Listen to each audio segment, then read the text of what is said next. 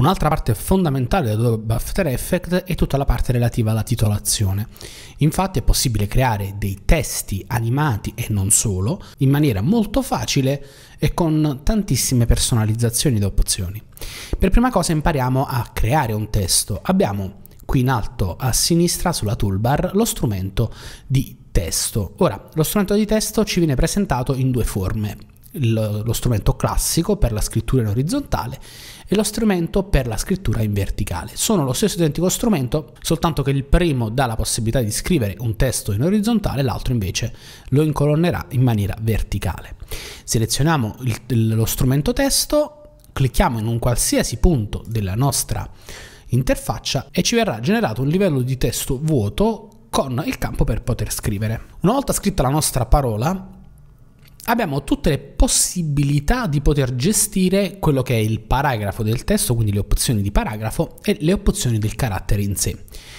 Come si fa? Beh, molto semplicemente, come per un qualsiasi software di editing di testo, abbiamo i pannelli dedicati al carattere e al paragrafo.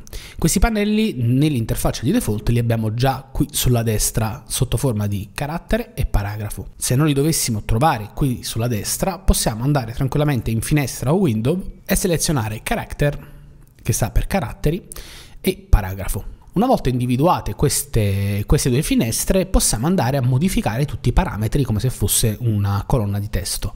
Possiamo scegliere quello che è l'allineamento e scegliere tutti i parametri del paragrafo. Mentre nella, mentre nella colonna del carattere abbiamo la possibilità di scegliere tra tutti i font di sistema scegliere la tipologia di grandezza del font, se deve essere bold, italic, dove i font predi sono predisposti per questo, la dimensione, possiamo scegliere, in questo caso è, disab è disabilitata, ma la metrica dell'inclinazione, possiamo scegliere la distanza tra varie linee di testo, di base automatica, ma se noi, noi possiamo tranquillamente andare a modificare questo parametro, possiamo variare la separazione tra i caratteri e possiamo aggiungere un outline. Come vedete tutte le opzioni che io sto muovendo sono relative alla selezione, infatti anche se è solo un unico livello di testo con due righe, se io realizzo una selezione di un tipo di testo posso andare a modificare solo le opzioni della mia selezione.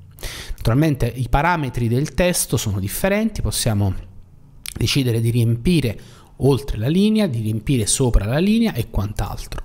Ancora abbiamo la possibilità di strecciare il nostro testo con tutti i vari modificatori, nonché abbiamo i modificatori per decidere se devono essere tutti maiuscoli, tutti inclinati, tutti bold o quant'altro. E inoltre abbiamo la possibilità di scegliere il colore. Come? Con questo sele semplice selettore possiamo cliccare, scegliere il nostro colore e possiamo, cliccando sull'altro quadratino che troviamo sotto, scegliere il colore del nostro outline. Nel caso in cui abbiamo delle combinazioni differenti, come vedete da un lato ha messo l'outline, dall'altro lo ha praticamente eliminato. Perché? Perché noi abbiamo detto soltanto a parte del testo precedentemente di avere un outline, adesso invece abbiamo selezionato tutto, quindi ci basterà dare un valore univoco a tutta la selezione e il nostro outline verrà realizzato su tutto il nostro testo.